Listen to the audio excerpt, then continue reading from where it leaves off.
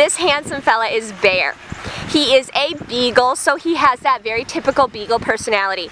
Very curious, loves to smell and sniff everything. He is definitely looking for a home that will let him do that. Somewhere with a big backyard or somewhere that he could go for walks and just explore the world around him.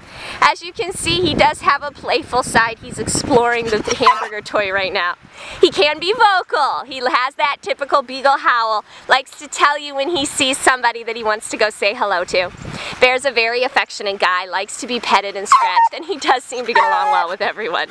While he's been here at the Humane Society, Bear walks very nicely on a leash, but he could use some additional training in his new home.